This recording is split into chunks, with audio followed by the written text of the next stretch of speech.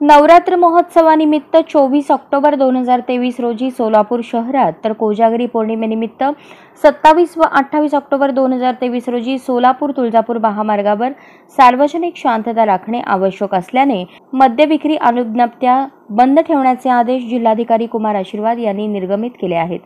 दिनांक चोवीस ऑक्टोबर दोन हजार तेवीस रोजी दसऱ्यानिमित्त सोलापूर महानगरपालिका हद्दीतील सर्व किरकोळ देशी विदेशी मद्य विक्री ताडी अनुज्ञप्त्या पूर्ण दिवस बंद राहतील.